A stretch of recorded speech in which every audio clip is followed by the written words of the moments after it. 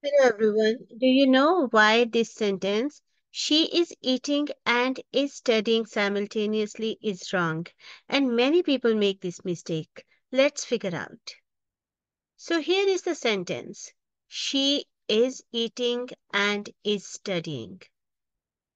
Let's analyze this sentence. This is present continuous tense.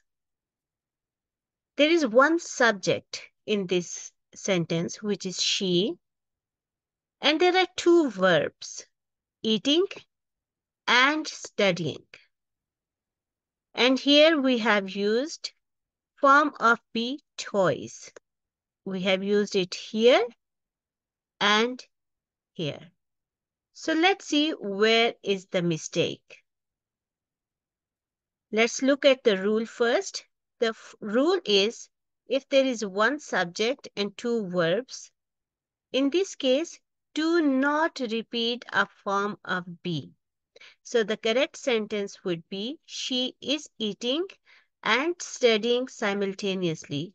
We do not need to use is one more time.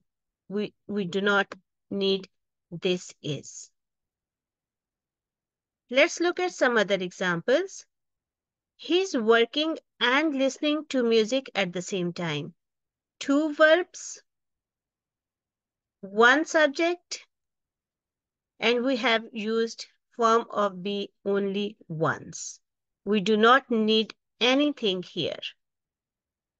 They are playing basketball and chatting with friends on the sidelines. She's cooking dinner and talking to her mother on the phone. I'm reading a book and writing notes for my assignment.